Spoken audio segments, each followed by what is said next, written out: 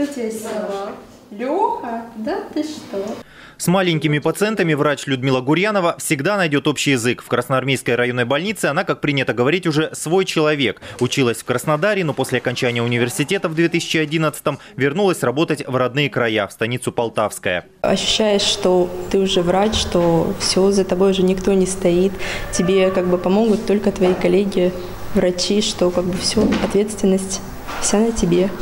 Конечно, ну, понимаешь, что все уже, взрослая жизнь началась. Молодого специалиста уважают коллеги, ценят местные жители. Ведь на селе почти каждого доктора знают в лицо. И как работает врач, лучше любой комиссии, скажет сам пациент. Это врач вообще очень, очень хороший. Постоянно мы к нему обращаемся. Всегда добрая, отзывчивая, всегда поможет. Став земским доктором, Людмила Гурьянова получила миллион рублей по краевой программе «Врачебные кадры для сельского здравоохранения». Эти деньги помогли молодой семье обзавестись собственным жильем. Получить подъемное служебное жилье и стать миллионерами могут и другие интерны. В сельскую медицину в этом году планируют прийти еще 75 дипломированных специалистов. Выпускники лечебного и педиатрического факультетов Кубанского медуниверситета сегодня на сцене филармонии дали традиционную клятву Гиппократа. Выстоять в профессии, набраться опыта и стать настоящими профессионалами молодым докторам пожелал губернатор Александр Ткачев. Земский врач, как это было еще в царские времена, всегда пользовался огромным уважением. Люди будут вас знать лицо, по фамилии, по имени. Они будут разделять с вами и свои боли, и чаяния. И, конечно, эта работа требует совершенно другой самоотдачи.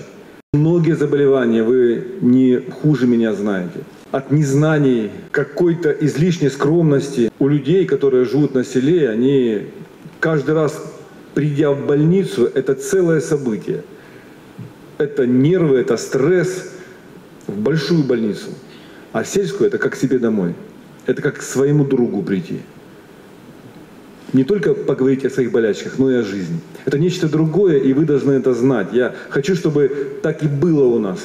Регион сегодня не жалеет денег на медицину. Комфортные условия для пациентов и врачей создают не только в городах, но и самых отдаленных хуторах. Для больниц приобретают современное оборудование и лекарства. 500 офисов врачей общей практики должны построить в ближайшее время. Деньги выделяются по краевым программам, в том числе при участии депутатов Законодательного собрания региона. Ваша профессия, особенно вот в сельской местности, за короткий промежуток времени сделает вас каждого известным человеком в своей местности. И обязательно будут давать оценку, какой специалист, как он работает.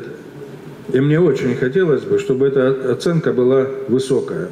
Шесть лет трудной учебы позади. Сегодня выпускники получают долгожданные дипломы. Уже завтра интернов ждут на рабочем месте. Все ли останутся в профессии, покажет время. Соберемся лет через 10, проверим, кто где. Евгений Вольский, Марина Сенникова, Антон Калиниченко, Денис Перец и Денис Москаленко, Девятый канал.